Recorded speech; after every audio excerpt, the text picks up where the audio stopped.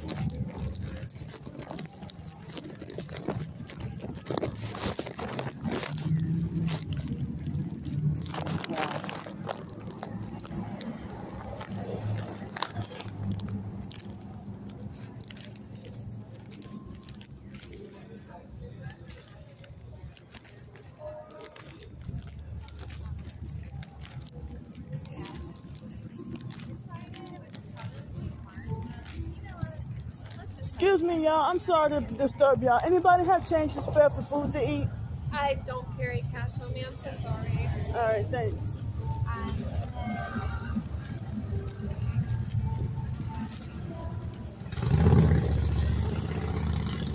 Damn.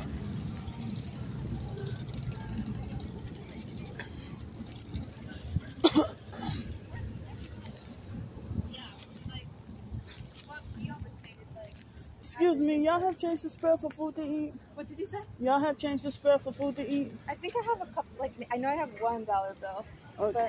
but I think that's all the cash I have right now. Yeah. Thank you. Yeah. Good luck. Thanks, Thank you. y'all.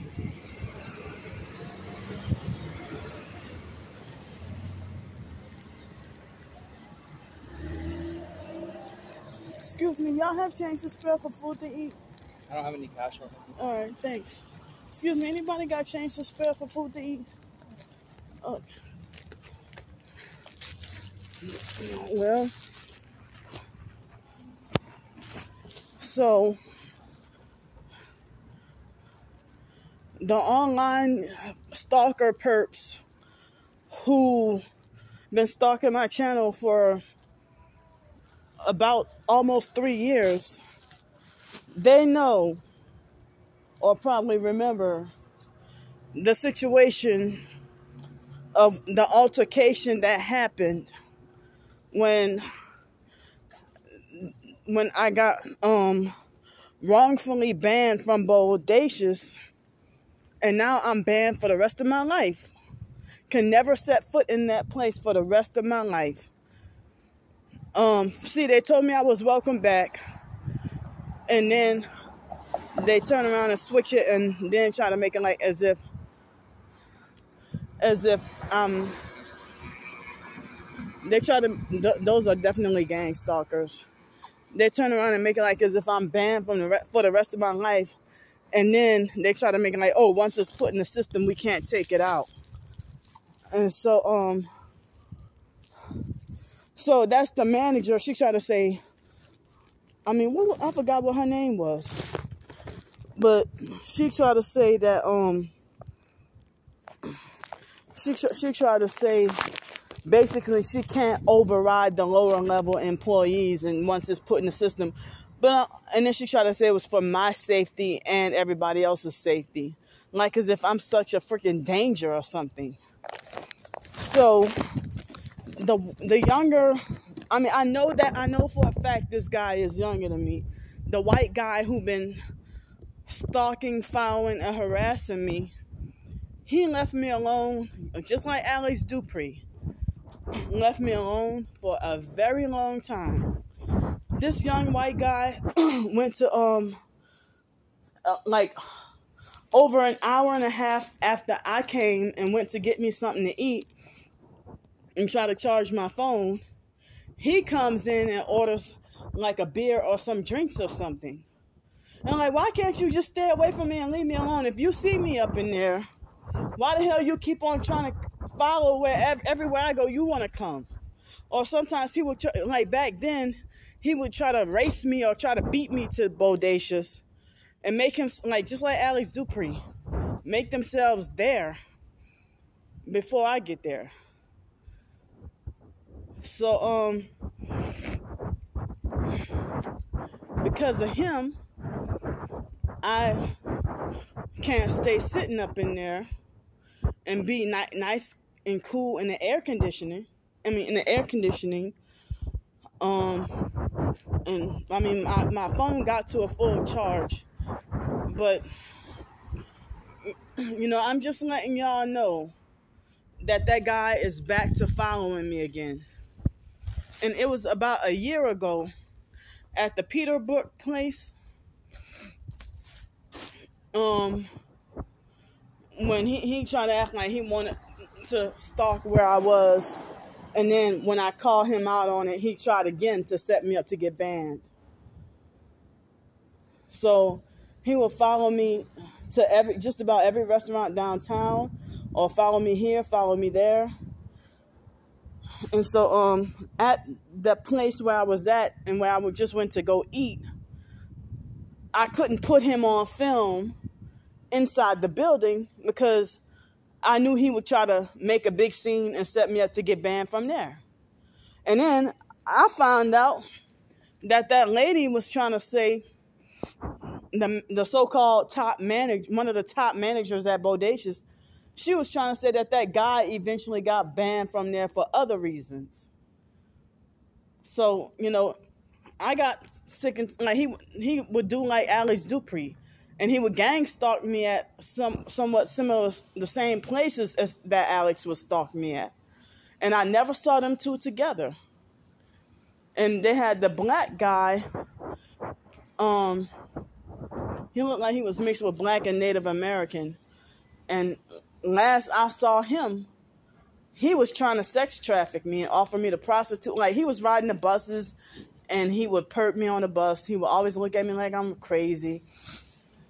And then he acted like he wanted to offer me the prostitute. Then I saw he got a Mercedes that looked like, you see this Mercedes right here?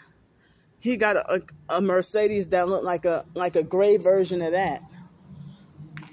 So, the last time I saw that guy, I think I saw him driving a Mercedes. Come on, man. Stop. See, this noise harassment.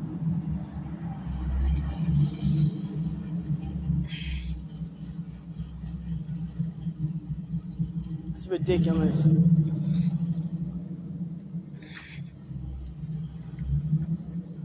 But you see, you see, all three of these perps work at O'Reilly's three white vehicles in a row. But then there's two separate ones over there, and then there's that white one over there. But they strategically parked three in a row on all these spaces, and this was they they did this on purpose. All three of them work for O'Reilly's, and that's that Honda Element gang stalking vehicle over there. The perp tried to talk about hail Satan in the middle of the night, and you know, and I think these two cars um, they O'Reilly's gang stalkers as well.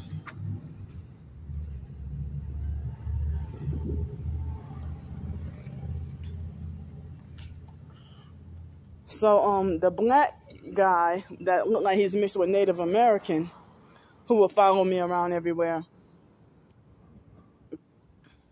Yeah, I haven't seen him in a long time. And it was him, Alex Dupree, and this white guy, this young white guy that, that I was telling. And this guy, he'd be like in disguise or some, has a new style. And I and I can tell it's him by the beard, the beard and mustache and the eyes. I, I can he has those what they say crazy looking eyes. You know, he has those crazy looking eyes. and so I couldn't film or I mean or record him. You know, I just got up and left the place. You know, I just got up and left the place. You know, but but um I'm I'm I'm doing this for my documentation that the, the bastard must be back to following me around again.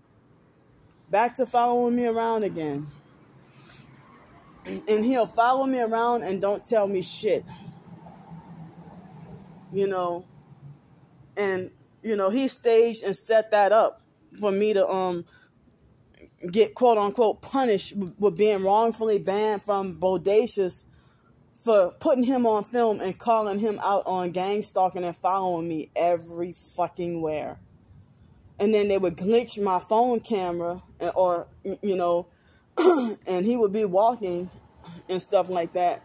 And he would follow, I mean, as I said, he would follow me just about, I mean, he would follow me to, um, like he followed me at the Whataburger near the mall. Well, that was my and the first day I had that job working at PSC campus cleaning the bathrooms back in 2019. My first day of work there was the day I saw him and what he was doing was he was juggling his keys. The very next morning, the very next morning, I saw him at Bodacious and I was like, I was still trying to figure things out with the um gang stalking and stuff like that. Uh, so it's like, I try to be like, well, hey, aren't you the same guy I saw earlier this morning, a few hours ago? He's like, uh, I don't know, uh, maybe, you know. But he was, they said like juggling keys or whatever. It's like an anchoring tactic with the um gang stalking and stuff like that, or clicking the pin or something like that. And so, um, you know, at my soonest opportunity, I went to go use the bathroom and get gather my stuff and then just walk out of there. And I just feel totally disgusted and grossed out by him. You know, um and so me just trying to avoid trouble, but like it, like why would you continue to follow me at places if you know I put you on film and then you make a big scene and stuff, but you still keep following me every fucking where. You still keep following me everywhere I go. If I would go to Cactus Cantina, oh, he was following me over there too. So it's been a while since they had the same stalkers stalking me on foot. Um, the lady with the um, black Buick Envision, I don't see her following me around anymore. But she used to follow me every single fucking morning. Oh wait, no. That one of the guys who falsely accused me of stealing their electricity, he makes his rounds every every morning to follow me with with um with one. Hey, excuse me, anybody have change to spare for food to eat? Yeah, I'm taking a damn video, y'all, Masonic gang stalkers, especially him. Him right there, this little midget right there in the in the navy blue.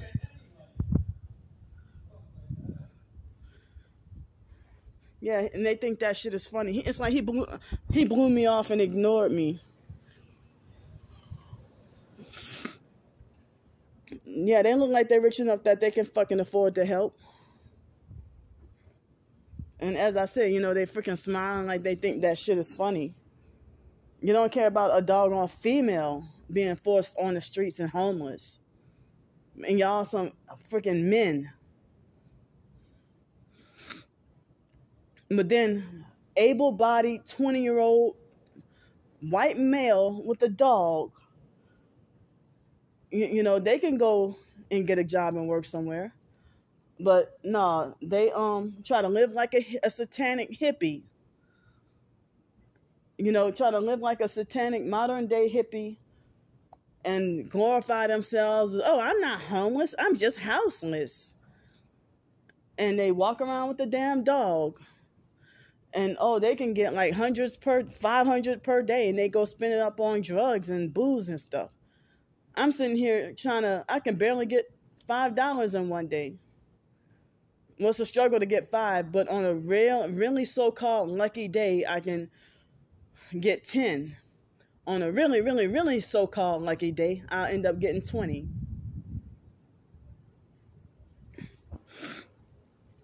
But yeah, that's what they say. That the, um, they tell the Masonic cult members to not help. I mean, the, the Freemason gang stalking cult members, they tell them not to help you or they have the fake script lying and saying, "Well, oh, I'm sorry, um, uh, we only carry cash." I'm, I mean, say, "Well, we don't carry credit card. We just only carry cash." So, so um. Also, the instant like I walked out of that place where the guy was at, the instant I walk out of there I, I ended up with a headache. And then the headache went away, and now just as this second, now it's come the headache came back.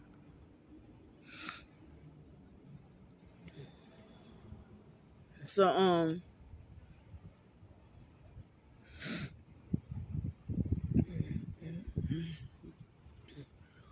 so yeah, I mean that I, I, that somebody was hitting me with the energy weapons to cause me to have a headache. I mean, soon as I walk out of that building, and the guy he looked dead at, he kept looking at me. So I mean, the guy looked like he's like in his late thirties or early. I mean, I'm sorry, late twenties or early thirties. He's. I promise you, he's younger than me. And so he tried to think he can discipline and handle me you know, and then try to call the Garrett guy. Garrett used to love me. Garrett used to respect me. I never had an issue with Garrett. But I think that he that guy, I don't know if he was the one snitching to Mr. James or and or if it was him or Alex telling Mr. James to fix me a small amount of food and stuff. And Mr. James used to always perk me and give think treat me like I deserve to be punished by giving me like small amount of food and stuff and while filling everybody else's bowl up with, with grits and stuff like that. so um I mean it's like you know you have an issue with me, you know I have an issue with you. I don't know you. You've been following me around for almost 3 years. Actually no, He's been following me around for three years. Well, almost precisely three years. Because I don't remember, it was September 20 something when I tried to, when, when, was it September, September 23rd or something like that in 2019? But I know I do know it was September 23rd, 2021 when I started work doing this temp service at the schools, doing the same kind of job, cleaning bathrooms and stuff, you know. so they had this older website that's now defunct that try to say that don't report any gang stalking unless you have su- substantial evidence. Well, me, evidence or not, I report everything because and I document everything. Well video document or picture doc mainly video but some picture document documenting everything um because of the gaslighting. So even though they just gaslit me i'm still to report it anyway. And i will say well this person had one tail light and the instant I put on film, he hurry up and switch his tail tail lights back to normal, something like that. And I was I would talk about it on the video, and sometimes the car will pull off too fast, but I'll just document what happened. But whether y'all see it or not, God sees everything. He knows everything. He knows what's going on. So I was listening to my Christian songs while the guy walked up in there into that place where I was at. You know. So, what time is it? 3:43 p.m.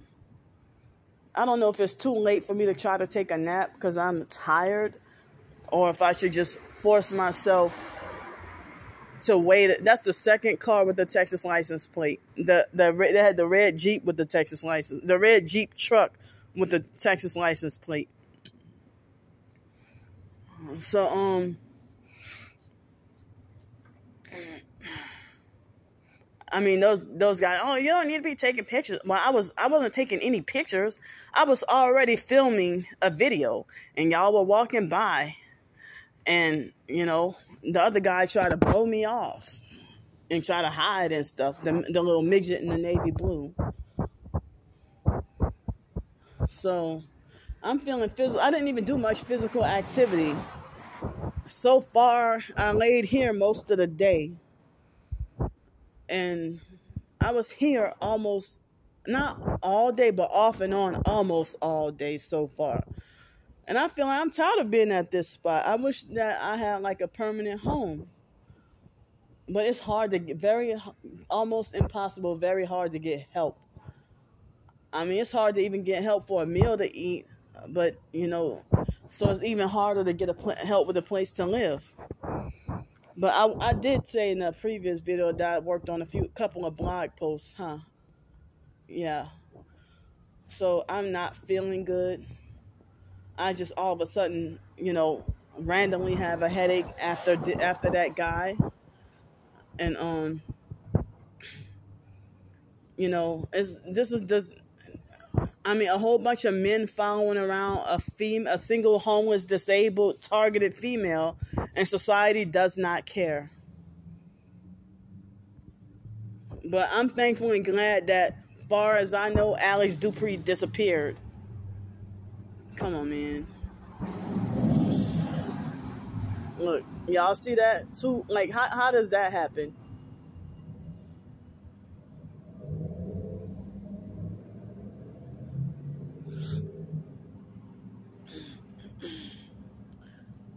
But um I know the reason why they wrongfully banned me from Bodacious is because of um covert. I, I know I, I ain't stupid. I know it's covert racism. Like how you the top manager and you can't override somebody that's a position lower than you? I never heard that until this gang stalking. I mean, at GNC, I think it was in the at the Riverwalk in New Orleans. Um, come on, man. The, the, the regular manager acting like she couldn't override the decision of a regular employee. They did the, the same thing at the fake dirty downtown Whataburger. Um, they tried to make like the manager act like they couldn't override the decision of a lower level employee who's who can get fired.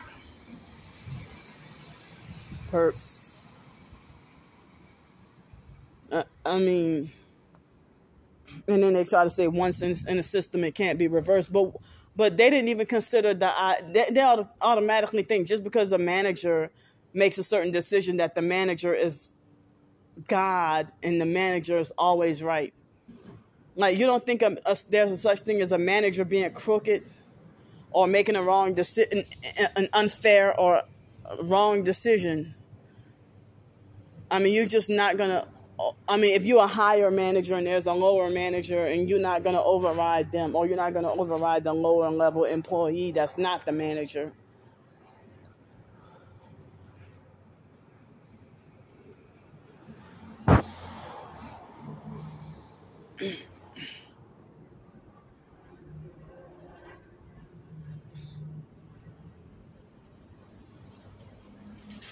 and I haven't, wait, hold on and, and I mean, yeah. So that guy, he he he tried to um. He, he tried to set me up to get wrongfully banned from that Peterbrook place when he was gang stalking me there. And I put him on film there, and he tried to make a big scene and call the police. Well, stop fucking following me. And you won't have to worry. Stop gang stalking me. You won't. That's all you gang stalkers. If you don't gang stalk me, I mean, if you don't gang stalk me or, or covertly harass me or human traffic me, then you wouldn't have to freaking worry anything about being put on film for nothing. Look at this red car. So um so I mean you if, if you wouldn't tr- try to criminally traffic me, you wouldn't have to well don't freaking try to harass and stalk and follow and bully somebody and then get mad and offended when they call you out on it.